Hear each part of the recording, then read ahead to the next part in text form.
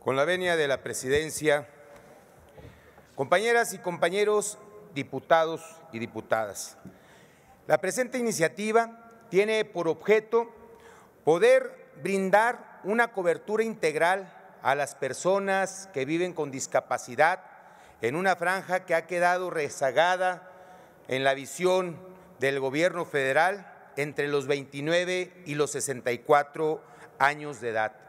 A pesar de que el artículo cuarto constitucional establece que todas y todos los mexicanos tienen derecho a una cobertura integral en salud, sabemos que en términos reales no es así. Lo mismo, México es firmante de la Convención sobre los Derechos de las Personas con Discapacidad y en, este, en esta convención se establece que la cobertura de atención médica a personas con discapacidad debe ser universal y debe ser integral. En nuestro país, el 5.7% de las y los mexicanos tienen algún tipo de discapacidad. Esto es más de 7 millones 100 mil mexicanas y mexicanos. Y resulta que de, esta, de este universo de personas que padecen alguna discapacidad, 52% de ellas son mujeres. Hoy, precisamente, que estamos conmemorando la lucha de las mujeres por reivindicar sus derechos, es menester, pues, que podamos impulsar iniciativas que brinden realmente un desarrollo integral de las familias y de las personas. Un millón y medio de mexicanas y mexicanos en este país no cuentan con ningún tipo de acceso a la salud y viven con discapacidad.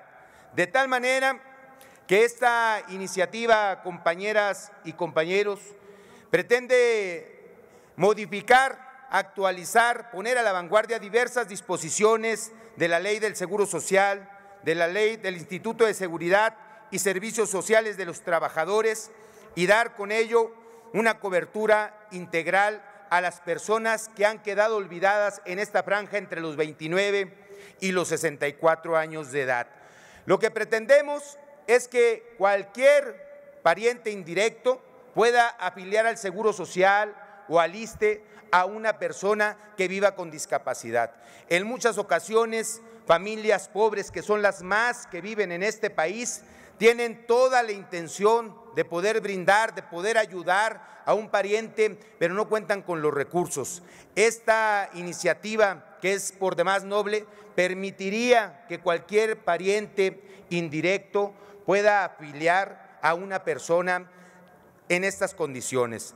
Existe en Durango, se nos han acercado en Durango, en los foros de consulta legislativa que hemos realizado, personas que nos dicen, Queremos ayudar a nuestros parientes, quiero ayudar a mis sobrinas que han quedado huérfanas, ambas personas con discapacidad, pero no cuento con los recursos y no encuentro las formas de poder hacerlo. Por eso, con esta iniciativa podría esta persona darle la seguridad que requieren para la atención médica, para el cuidado integral, para poder brindarles una vida digna y sobre todo, sobre todo compañeras diputadas y diputados, entender que la mayoría de este universo son mujeres, son mujeres que padecen en su doble condición, el abandono, la falta de salud, personas que viven en un estado ingrato de indefensión Necesitamos impulsar a colación de este importantísimo mes,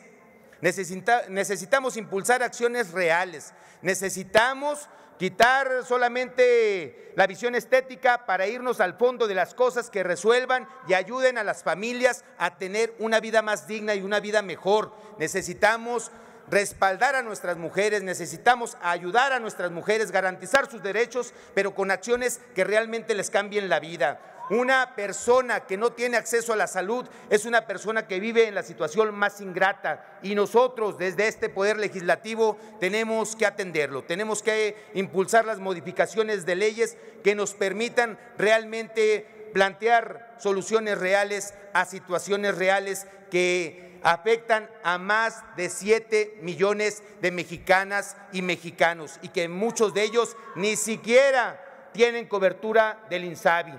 Vamos a ir pues a pedirles la sensibilidad para poder aprobar en comisiones y posteriormente en el Pleno esta iniciativa que dignificará la vida de las personas que tienen algún tipo de discapacidad. Muchas gracias. Es cuanto, compañero presidente. Muchas gracias, eh, diputado Castañeda González.